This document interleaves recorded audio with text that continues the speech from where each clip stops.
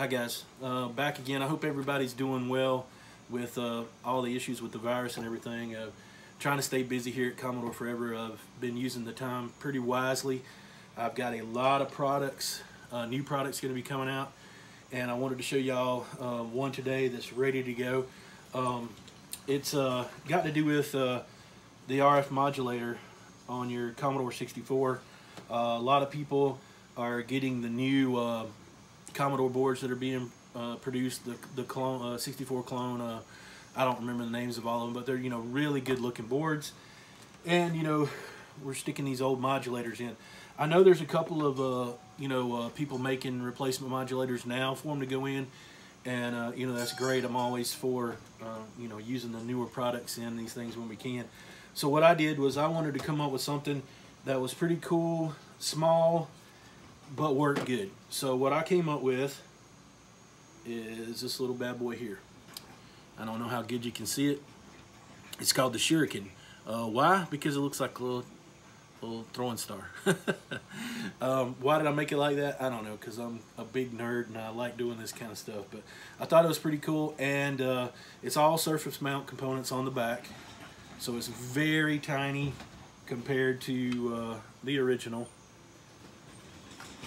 and um, you basically just uh, remove your original modulator. I'll set it over here, everything's a mess.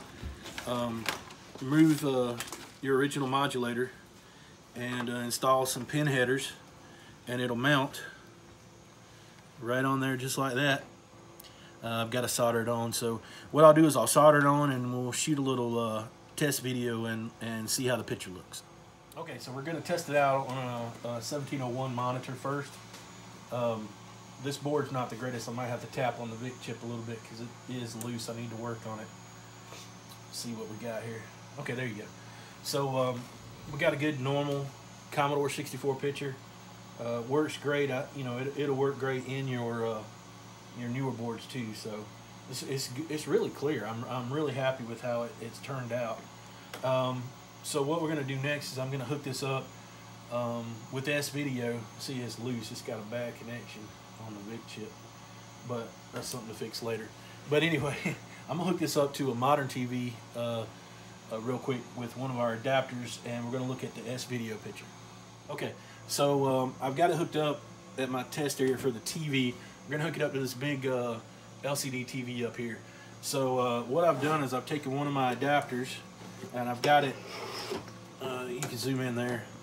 I've got the uh, S video hooked up and so we could really see how this is going to look, I hooked it into one of these cheap um, HDMI converters. So I've got S-Video going into this um, converter, so we're going to see HDMI output on the TV. Okay, so let me fire it up here. It'll take it a second to sync up. Okay, that's not my adapter, that's the VIC chip. There we go. And uh, that's it right there. Um, pretty clear picture. Uh, it's messed up. Let me, this VIC chip, I've got to, I just think just resolder it in. There we go.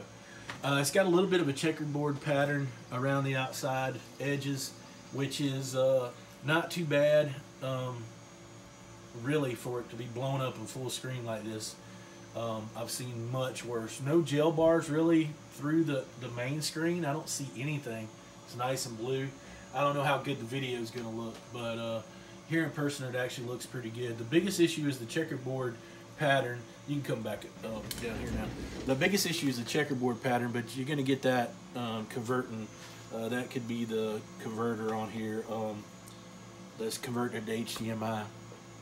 Um, probably a Lumafix would clean up some more of it.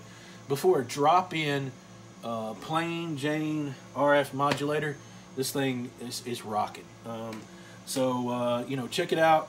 I'll have it available in the store here uh, now. Um, check it out. Um, it's going to be $18.99. It's the uh, Shuriken.